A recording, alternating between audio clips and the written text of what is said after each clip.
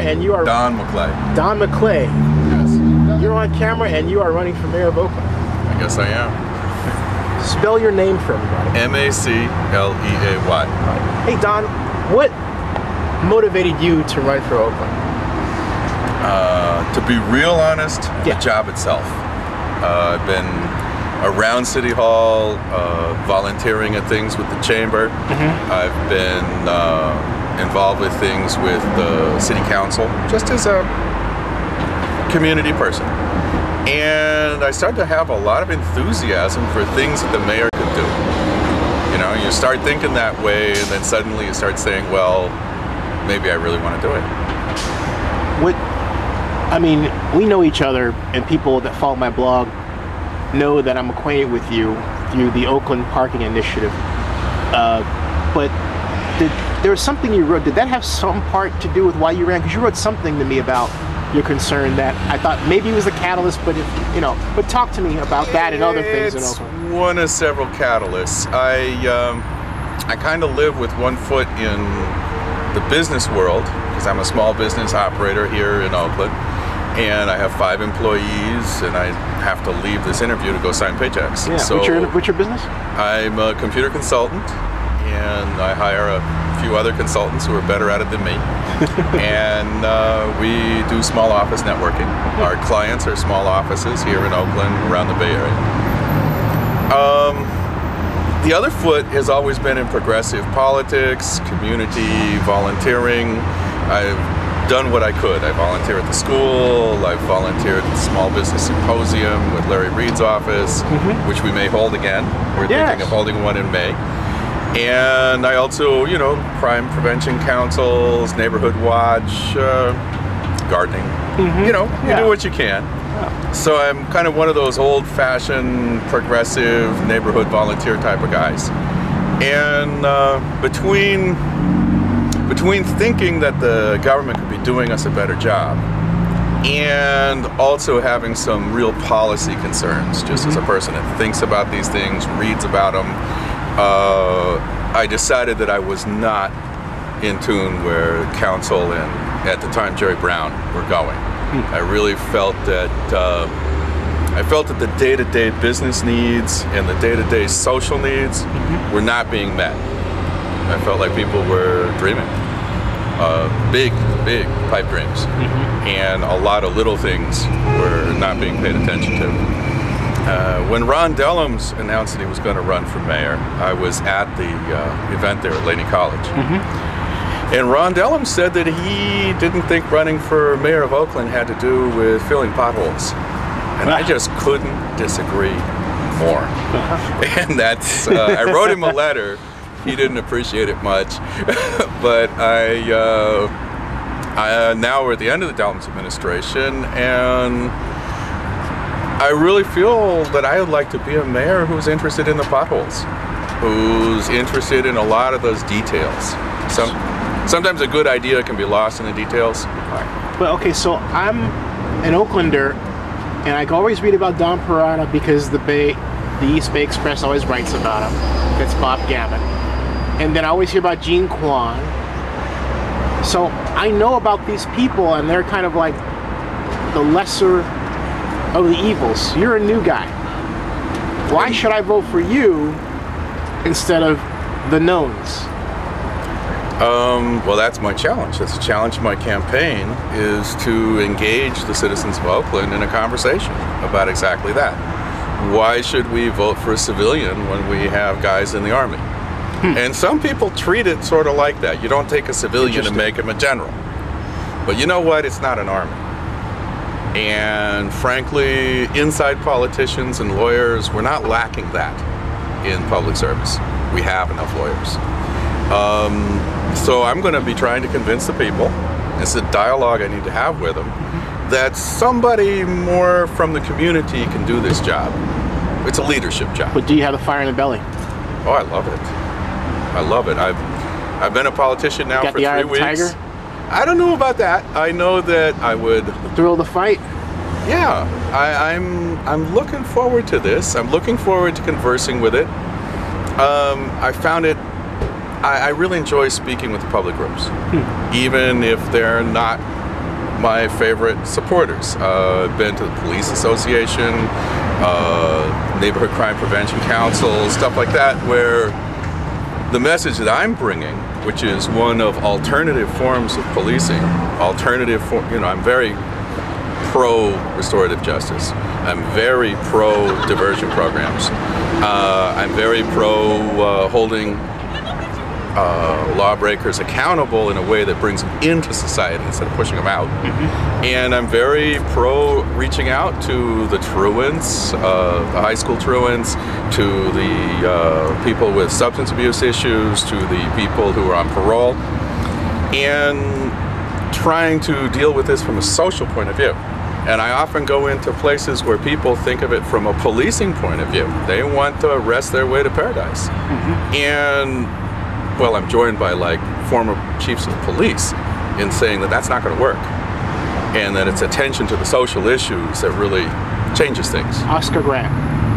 Dellums was widely criticized for his late response to the, it, well, what turned into a riot. If that happened, what would you have done? It's a hard thing to do. Uh, I think Dellums was kind of unfairly criticized, for one. Uh, the man was out there on the street. He has not been the kind of mayor that's out public all the time. Mm-hmm. Dellums went out there to meet with the demonstrators. But Davey D, hip hop reporter, would say that it took a long time for him to get out. That he, could be. You know, that could be. So, um, what would um, you do? You're mayor. What, what would you do? Well, for one, you don't need to think a second. To, you do not need to think one second that when a police officer kills a civilian, that we, the government, are accountable. Now, it wasn't his police officer that did it, it was a BART police officer, but it happened in Oakland turf. And we have accountability to the civil society that's immediate. And I think that's where I would start.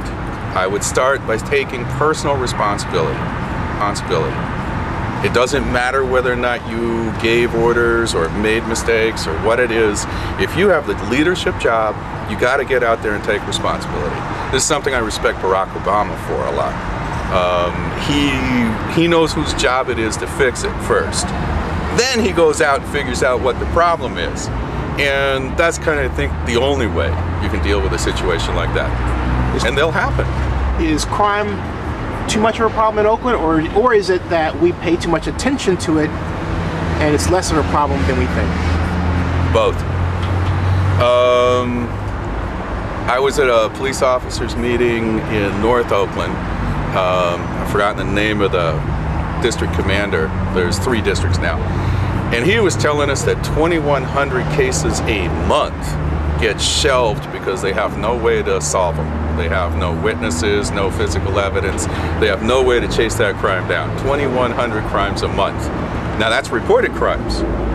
Everybody who lives in Oakland, they or their family, feels it. They don't need a statistic to know that there's a high crime rate here in Oakland. You can't walk down one of these streets here, you'll find broken glass. That's 25,000 reported crimes a year.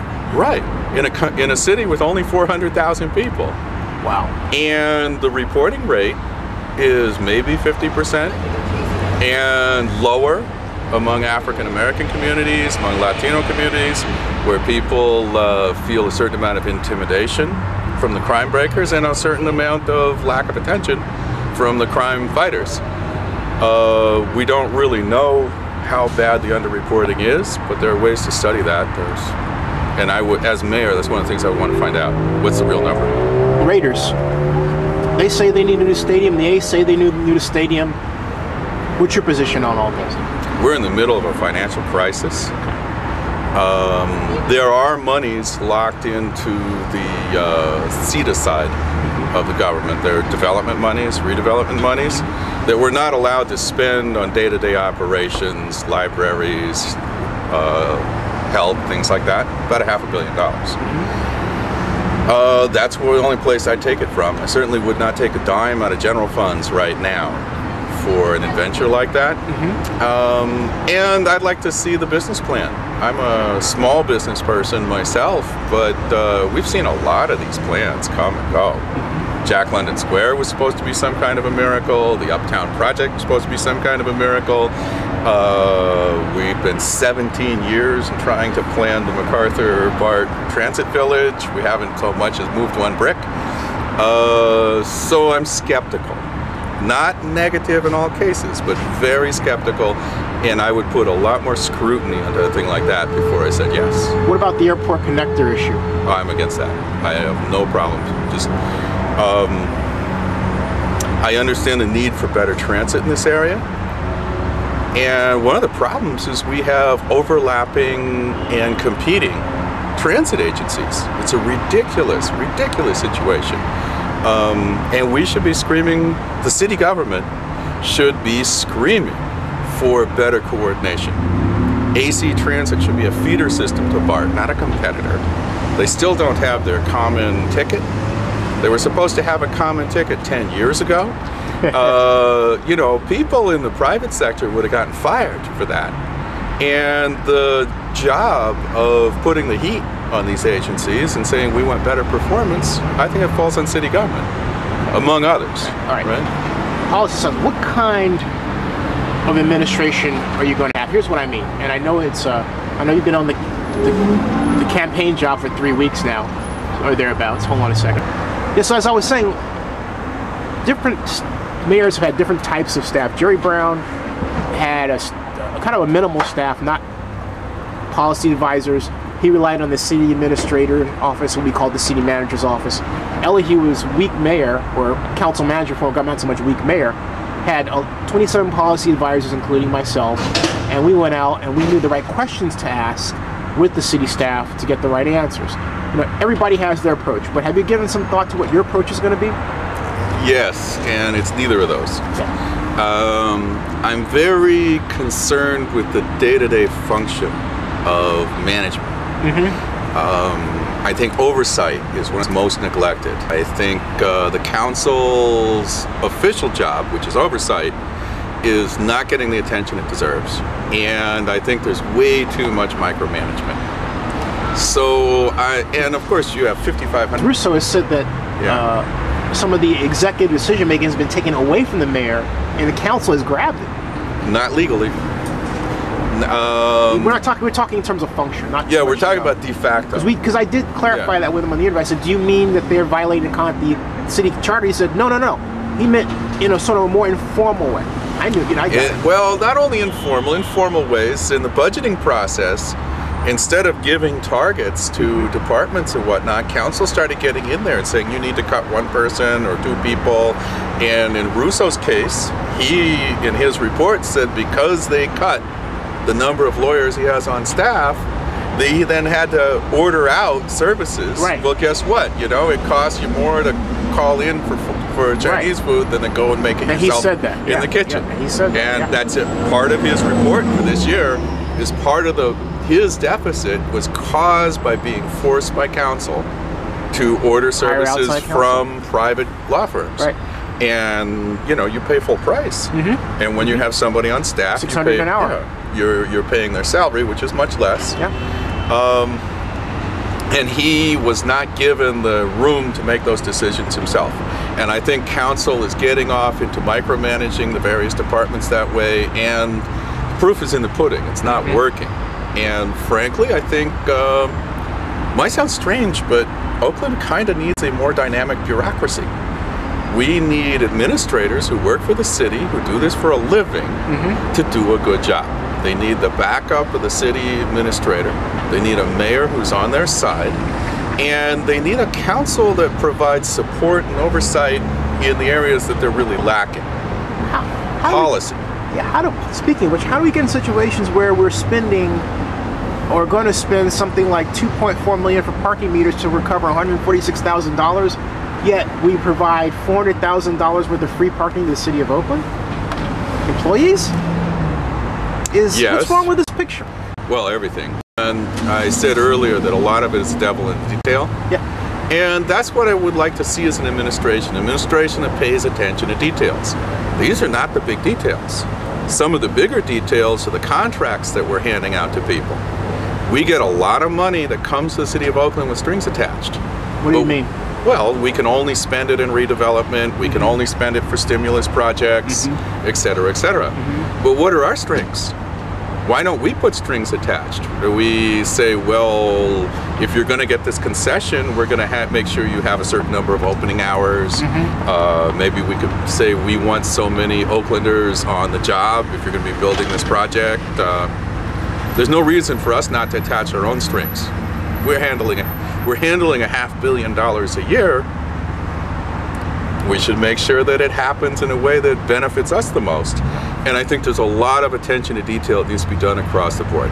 You Now, one of the things I got to say here, I really don't believe in shaking the bureaucracy up and coming in with a bunch of new ideas all at once. Um, it takes years to develop a good functioning department. It takes years to get things going. A good example of this is we had a thing called the One Stop Capital Shop uh-huh. that was years ago. And with different administrations and different zigzags, we lost a lot of the energy, a lot of the thinking power, a lot of the procedures and setups that make a piece of administration run. Right. And we lost a lot of the people. And then we reassembled it, and now we have a business outreach department. And I would say let's stop making these quick changes. If we're going to make a quick, we're going to make a change, we're going to have to develop a broader consensus. And as mayor, I would have to reach out to the other people in the council who maybe aren't my favorite people and don't have don't share a lot of ideology with me, but we don't want to have zigzag changes. They cost the city a lot and they lead to lower quality services. You're a business owner in Oakland. What, as mayor, would you do to make it easier for small businesses like myself to function? Uh, well, that's I was talking about the uh, business uh, outreach Right. department that they just set up. Uh, I think that's a good start. That's a good start right there. And I'm not just thinking about the business owners, but also the property owners, your everyday citizen, stuff like that. One of the things that makes that business department work well is you sit down and talk to a trained city employee, a manager. They manage your case. And then that city employee turns around and navigates the system for you. You explain to them what you need to do. They help you get the permits. They get you the right meetings with the right people. They get you the applications for the right things. Well, that's a lot of good service contract systems work that way. Yep. And I don't see why we shouldn't adopt it. Uh, that's a slow change, but where you could have one stop interface and let experts manage the system Sure. for you. We can uh, we can talk about what the taxes are. We can talk about a lot of other things. Like I say, they should be changed slowly. But the biggest thing is for the for the business owner or the citizen, the person that wants to buy a home here or sell their home here or fix their home here, to know how to navigate the system. Now, the other thing about Perata and Quan is that some would say, well, they know the council and they can get things done with the council. Are you like that kind of person, or are you like the Ted Dang when he ran for mayor, who was very antagonistic and said, "Hey, you know, I'm an outsider," and then he went blasting after the council, but, but, but, uh, he didn't win. That could be. Um, kind of neither. My difference of opinion with uh, Mr. Perata and more with Jean Quan because she's stated her uh, her policies more clearly. Sure. Is really first and foremost with the policy, the mm-hmm. priorities, things like that. So I see the election as the time where we argue about it. The election is where we're going to ask the people, do you want to do it Don MacLeay's way? Do you want to do it Gene Par- Gene Gene's way? Do you mm-hmm. want to do it Don Perata's way? Whatever that is, he hasn't mm-hmm. really made that very clear. But then the election is where we argue. Afterwards, I'll have all the council at my house for dinner because the only way we get anything done is working as a team. And uh, yeah, we should argue, but you you know, uh, I would argue in council chambers. I would argue as a participant. And if I'm elected, I will attend council. Would that be a. Brown Act violation if they're all there at once at your house? Not if you were there. Thank you. No. No, if we had the press there, it would not. Cool. Um, that means I have to bring the food. Nah, I bring the food. I love to cook. You've talked to a lot of people now, right? Yeah, more than I can remember who they are. It's it's a. I'm now a politician. What What have you learned? different things. One is um, there's still a lot of goodwill. That's one thing that really kind of keeps me going. There is still a lot of goodwill from citizens of Oakland. I've met of all tribes. I, I, I was in an AIDS hospice yesterday uh, during the day. Uh, Wednesday, I was in a meeting of business people. There's goodwill to do things with government here. Uh, that's and that's very encouraging. The other thing is there's a lot of good thinking. Um, I go to planning meetings. I go to, you know, I went to the meeting about uh, the Upper Broadway mm-hmm. project. I also went to the meeting about the Kaiser expansion. Mm-hmm. Every one of these meetings, you have everyday citizens who turn up who have paid attention, know the issues, know the details. So you were asking me what kind of an administration would I run? It would be administration dependent on those people. Mm-hmm. In every one of our neighborhoods, we have volunteers, community activists that have really spent the time to think about all these issues. One person can't do it, but the community has that energy within it. What's your What's your website? Where's my website? It's. Done. That's M A C L E A Y, the number four, mayor.org. And I know that we're running close to our time. It looks like it's about to rain out here on Grand Avenue. It's a beautiful day. It wouldn't dare. I hope not. No. But uh, and we're at Merritt Station. If you ever come, it's a free hotspot, folks. Merritt Station in there. And hey, great Don. BLT sandwiches. Yeah. Thank you for your time. Thank you.